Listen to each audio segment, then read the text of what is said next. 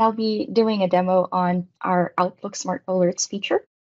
Just a little bit about Smart Alerts to start off. So, it is an event based activation feature that allows your add in to run some logic after a user selects send from an Outlook message or an appointment.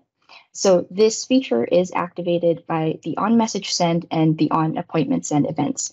So, this can be really helpful when you're dealing with some scenarios like when you want to verify that your user is using the most up to date and correct signature depending on you know what email or appointment that is.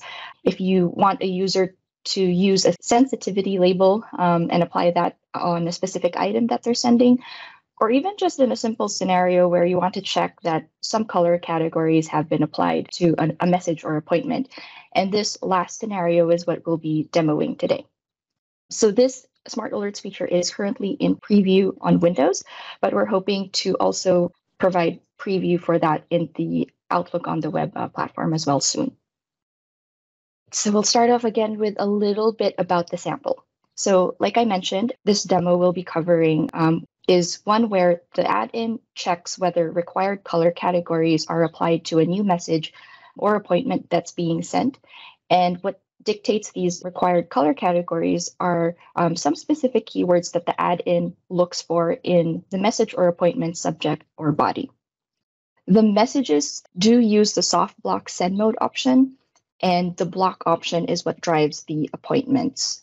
So I'll go into a little bit more detail about these send mode options in the next slide. But before I go to the next slide, I do want to leave you this link to the sample that we will be demoing. We would love for everyone to um, take a look, test this sample around, um, and just to get a little bit, uh, or just to get to know the, the feature a little bit more. So a few key parts um, of the manifest that's specific to event-based activation add-ins um, and smart alerts in general. So these add-ins do use the launch events element in the manifest. And within the launch events element, you do have the launch event element that you can declare. Within this element, there are three attributes that you'd like to specify. The first one being type, uh, and this is where you declare the event that activates your add-in. So in the case of smart alerts, it would be on message send and on appointment send events. Then you have the function name attribute, which is where you would declare your event handler. Um, so those would be your uh, JavaScript functions that would be running the logic of your add-in. And lastly, you have the send mode attribute, and this is what determines the add-in's behavior when its logic or condition isn't being met by the item that's being sent.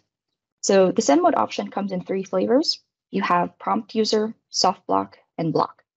With prompt user, this is recommended to use when there's logic or condition that you want your add-in to check, but it isn't mandatory. So it's more of a recommendation for something that's nice to have in an item um, that's being sent.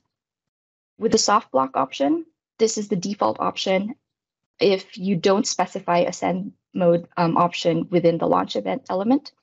And this is recommended to use if you want a condition to be met by the add-in, but say if the add-in isn't available at that time that the user is sending an item, you still would like to give your user the option to send the email. So you don't necessarily want to block them from sending that item.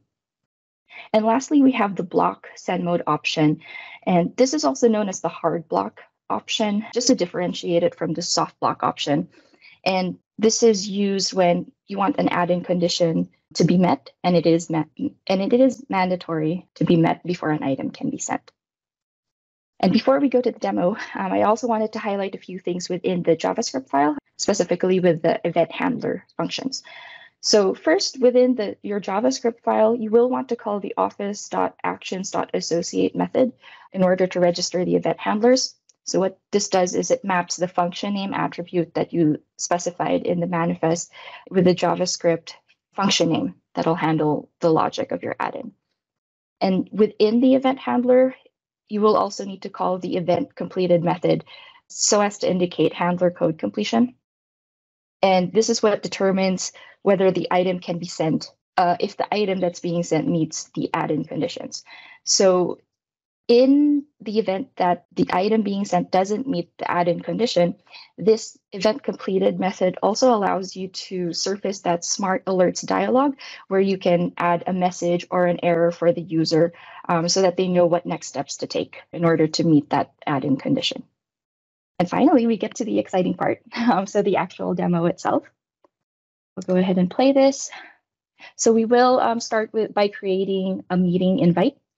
And of course, we'll put in some specific keywords in there so that the add-in can be triggered and it'll check to see whether we have applied specific color categories related to these keywords. So for this demo, the keywords in question are sales, expense reports, and performance reviews.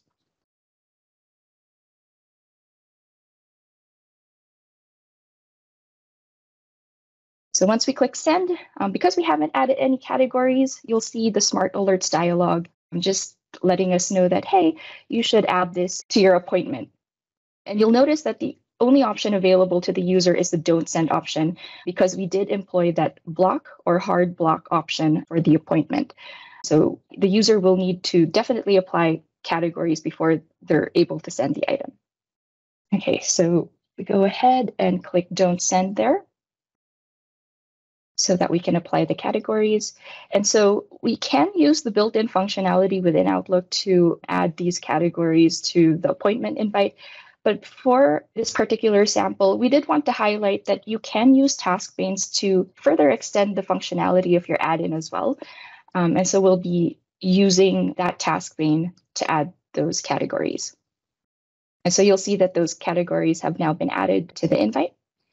And so once we click send, that invite goes through and the appointment appears on the calendar. Okay, so before I end the presentation, I did want to leave a list of um, resources that you might find handy, especially if you want to get to learn more about smart alerts um, and event based activation add ins and how to create these. I'll also add these links in chat um, for your convenience. But again, we highly encourage you to um, check the sample out when you do get a chance, play around with it, test the code, and adapt it to any scenarios that you may have. So, with that, thank you again, everyone, for your time. And back to you, David. All right. Thank you, Sam. That is a really cool sample to see. It's great to see how you can use the Outlook Smart Alerts for those various scenarios.